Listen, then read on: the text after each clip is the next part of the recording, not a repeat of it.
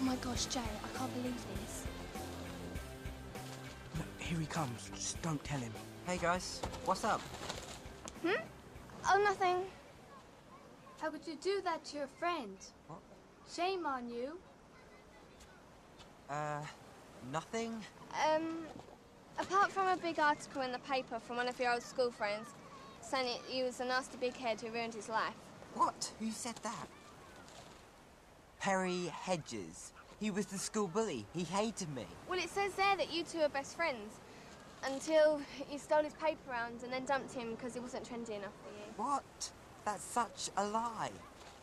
His social worker wouldn't let him have a paper round, and he dropped me off the top of a gym roof. Well, look, it's poison, filth, lies. Statistics show that 51% of accusations made in the press are taken with a huge pinch of salt.